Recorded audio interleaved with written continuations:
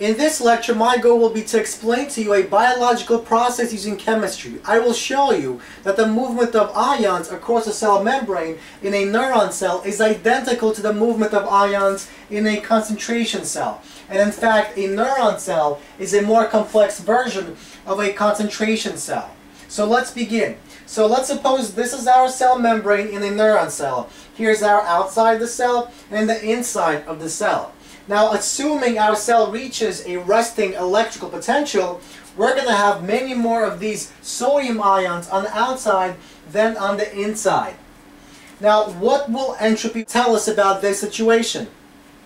Well, entropy will tell us that our system is not even, and we will want to move towards a more even system. In other words, some of these guys will want to move inside the cell so that we have the same number of ions on the inside as outside.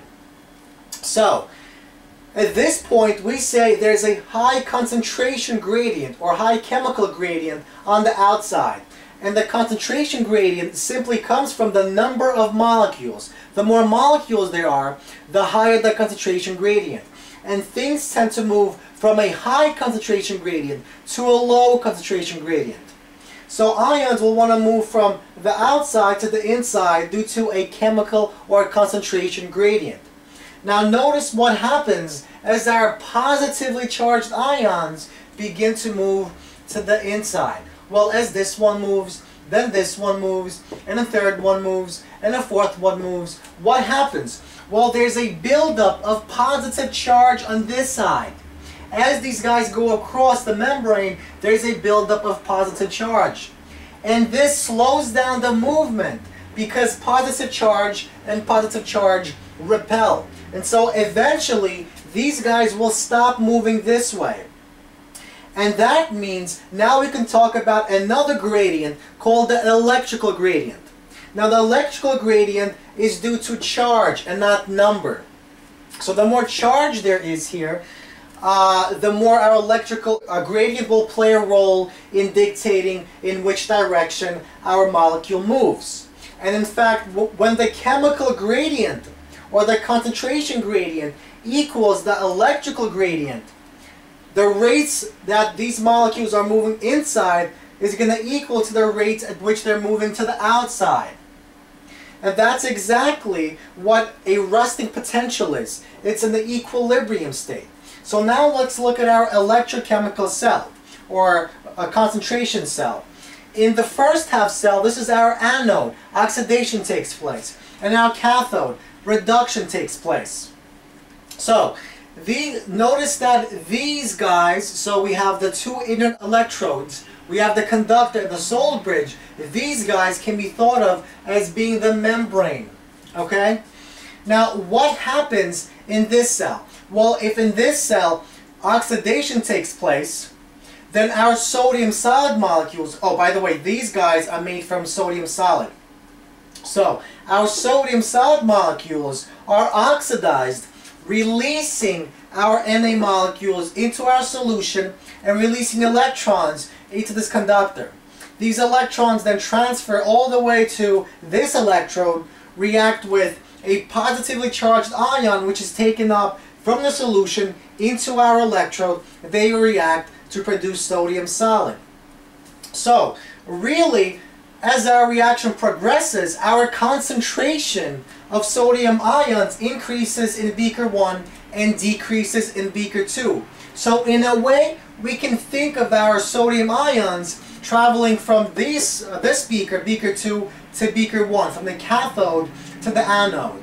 And that is exactly why we consider this beaker 1 to be the inside and this beaker 2 to be the outside, right?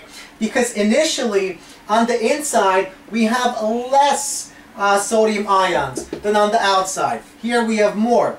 And when we have our resting potential, this is the amount of sodium ions on the inside, and this is the amount of sodium ions on the outside. Now notice what happens. Our sodium ions tend to move from the outside to the inside. And the same thing is dictated by this concentration system. Also, electrons tend to move from the anode to the cathode. Likewise, electrons move from a high electrical gradient to a low electrical gradient, right? What happens as the ions move from this guy to this guy? Well, there is a buildup of electrical gradient on this side. It increases. And then electrons begin to transfer from this side to this side, right? And that's exactly what happens in this system too. The sodium ions move this way, the sodium ions move this way, and electrons move the other way, and electrons move the other way. So a neuron cell is simply a complex version of a concentration cell. And the ions and electrons move in the same way in a cell membrane of a neuron cell as they do in a concentration cell.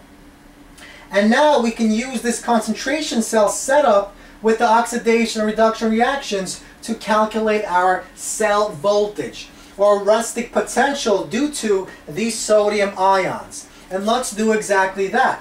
So here's our oxidation reaction and our reduction reaction. We add these guys up to find the net reaction.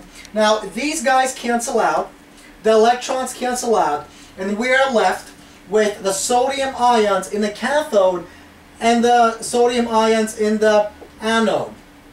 And so, according to our net reduction, there's a transfer of these guys from the cathode to the anode. And that's exactly what we see in this system and in this system. So, now what we do is we simply realize that our Q for this system is the concentration of this guy over the concentration of this guy. So let's go back to our uh, Nernst equation. Notice that our E for standard conditions cancels out because we have the same type of equation. And so uh, they have the same magnitude but different signs. So when you look the value up on a table, you add them up and they cancel out. That's why that E goes away. And now we have E equals negative RT ln of Q over NF. Now F is a constant, R is a constant, since this is a neuron cell, its body temperature, so 37 degrees Celsius, 37 plus, uh, two, uh, 73 is 310. Now, let's see, R is a constant, F is a constant, N is the number of electrons. In our case, we have one mole of electron on this side and on this side, so N is 1. Now, Q, we said, is the concentration in the anode over the concentration in the cathode. So 0.018 molar over 0.150 molar. The m's cancel and we get this guy here. Now we plug this into the calculator, we get a negative number and there's a negative on the outside so the negatives cancel and this is our final answer. Now once again I want to really talk about what this guy means because this guy is important. This is what is achieved at equilibrium, right? This means that when equilibrium is achieved, the chemical gradient or the concentration gradient equals the electrical gradient. So their rates are equal.